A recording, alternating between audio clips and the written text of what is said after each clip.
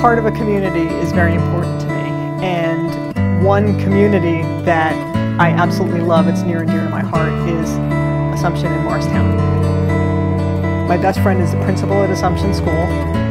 She has been for many years, and because of that, I feel like I get to know kids and families in a way that I would never know if not through that relationship. I love Assumption teachers and the parents and the children are dear to me and as a um, something to give back to that community and something to say, you know, thank you for being who you are and doing what you do.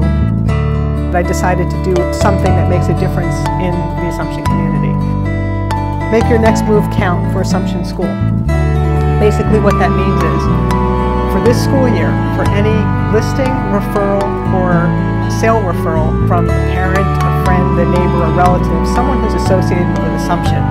Um, if it leads to a closed transaction, I'll donate back to Assumption School. So hopefully that can be used for something to help the kids. Giving back is important.